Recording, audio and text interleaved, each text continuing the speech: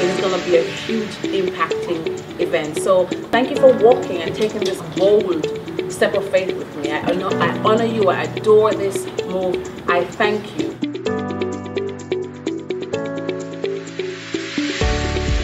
And then I have another trip to somewhere else I can't remember, and then I go off to Vegas. And people have asked me, you know, how does a little girl from a small town, Cleveland, Ohio, in the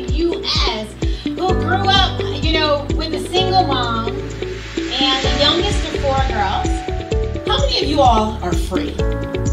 How many of you feel like you're truly free? It also includes your behaviour. How do you make other people feel when you leave the room? And also in terms of your behaviour, are you aware of who you are as a person? I was the girl that was chasing fame. I was the girl that wanted to be a famous TV presenter. And I was also the girl that wasn't getting listened to and wasn't getting jobs.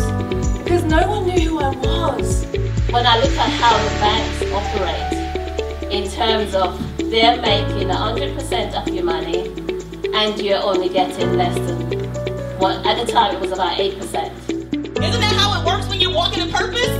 Sometimes you carry your mess and other people's mess with it. And you gotta decide. Nobody is gonna deter me from the greatness that's waiting. Purpose walk to find your purpose, to find your voice. I am here standing in front of you as a 40 year old married woman who have built a brand, who has appeared on Oprah, who have had a successful career on Bay Street in Toronto, Canada, and who is now living the life that she loves. So I had this purpose of playing music, and I, I toured, and I played with, you know, I played with Jimmy Page of Led Zeppelin, I played with, um, yeah, I had the photo, of unfortunately, the slides on there, so it's in my, it's in my head.